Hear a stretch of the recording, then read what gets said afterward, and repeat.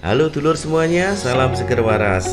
Di sebelah kiri saya ini ada mixer asli point 6 dan di sebelah kanan saya ini ada Soundcard Altron 48. Saya akan bicara soal soundcard. Tapi yang soundcard di sebelah kanan ini soundcard yang profesional bukan soundcard yang V8 atau V10 atau yang semacam ini ya.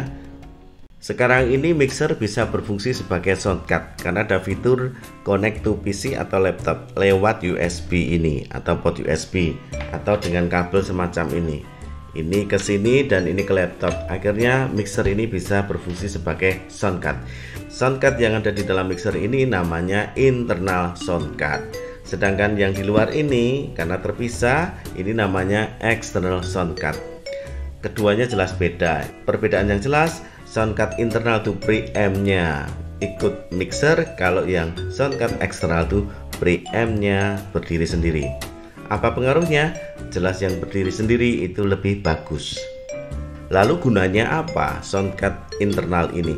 soundcard yang ada di mixer ini gunanya untuk merekam audio yang ada di mixer ini kemudian kita rekam ke PC atau laptop External soundcard gimana Pak? Sama, external soundcard juga gunanya untuk merekam audio ke laptop atau ke PC. Jadi keduanya yang internal maupun eksternal itu fungsinya sama untuk merekam audio. Lalu apakah keduanya tidak bisa kita gunakan untuk pentas atau live langsung? Mixer bisa kita gunakan live langsung pakai soundcard semacam ini bisa yang external soundcard juga bisa kita gunakan untuk live langsung, hanya nanti hasilnya berbeda. Tapi kali ini saya tidak akan membicarakan kegunaannya untuk live. Saya akan fokus untuk merekam, baik mixer maupun yang external soundcard. Kedua alat ini sebetulnya digunakan dengan cara yang berbeda. Kalau mixer kita gunakan untuk merekam, ini tujuannya untuk menghasilkan audio yang sudah fix settingannya. Atau dengan kata lain ada variasi efek yang kita tambahkan ke suara tersebut. Baik itu bass, mid, kemudian low dan juga efek DSP ini yang mixer berarti untuk menghasilkan suara yang sudah kita olah.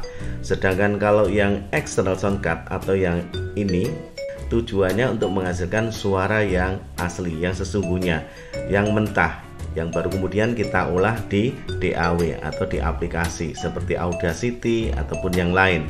Jadi yang jelas kalau yang mixer ini untuk menghasilkan suara yang memang sudah dicampur dan kita mau merekamnya.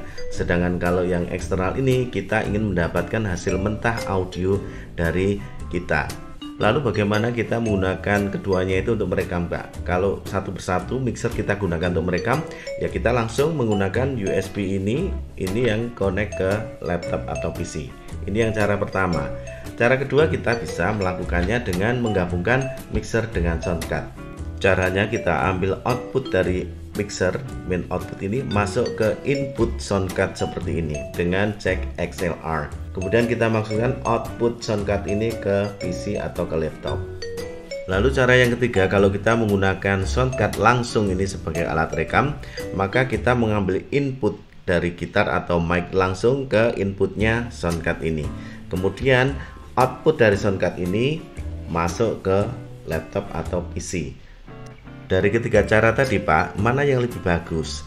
Kalau soal bagus dan tidaknya itu tergantung kebutuhan.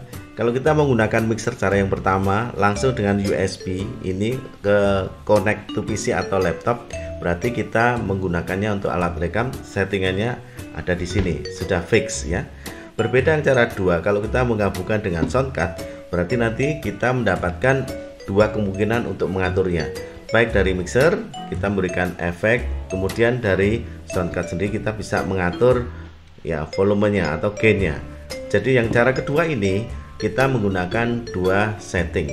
Setting dari mixer dan setting dari soundcard kemudian cara ketiga kalau kita menggunakan langsung dari soundcard ini kita akan menghasilkan suara yang sesungguhnya asli.